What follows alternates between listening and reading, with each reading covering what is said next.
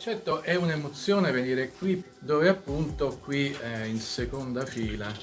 ricordo la testa canuta di Moravia e la settimana dopo ha pubblicato sul settimanale L'Espresso che è appunto una recensione che si chiamava Freud e suo cugino Nervale. E il Free Studio era un luogo dove potevi incontrare appunto Moravia, Bertolucci, eh, Jean-Marie Straub, incontravi eh, Siciliano, eh, Pasolini, e quello che purtroppo oggi non c'è più, cioè era un polo di aggregazione culturale, cioè era un centro radiante dove la gente si incontrava, si scambiavano idee, nascevano cose, collaborazioni. Io qui ho visto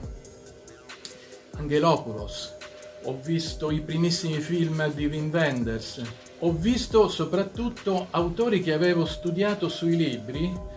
eh, ma di cui non avevo mai visto i film, cioè quelli del New American Cinema, Stan Brakhage, Paul Sharitz, eh, Jonas Mekas e ora eh, Aurelia è nella collezione del cinema sperimentale d'avanguardia appunto della eh, Filmmakers Cooperative fondata da Jonas Mekas e Shirley Clark. Che cos'era per me il cinema e come mi ci sono accostato? Dopo questa esperienza di teatro ho fatto regia al Centro Sperimentale di Cinematografia nel, nel 76-78 e contemporaneamente cominciavo a lavorare ad Aurelia e ai miei film sperimentali perché cercavo una forma, eh, pensavo deve essere una forma soltanto mia, cioè qualcosa che sia più simile, più vicina alla poesia e all'arte visiva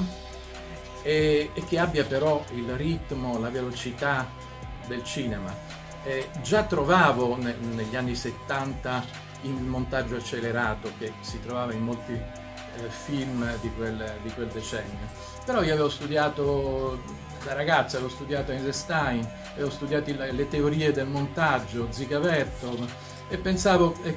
e, e d'altra parte avevo letto Brakhage, avevo letto eh, gli avanguardisti americani. Siccome anche scrivevo poesie, dipingevo, fotografavo, facevo teatro, eh, pensavo devo trovare una forma espressiva, cioè il cinema per me deve essere una forma espressiva che riunisca, che abbia della poesia l'intensità,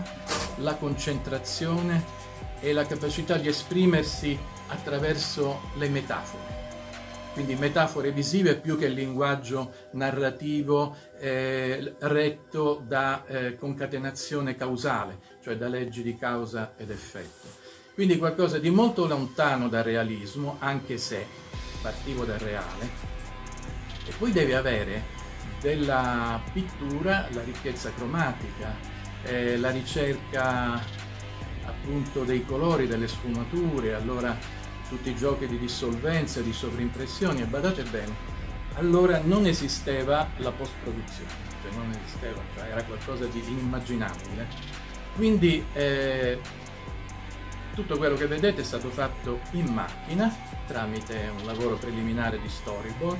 o di immaginazione, un po' eh, lavoro programmato e un po' flusso di coscienza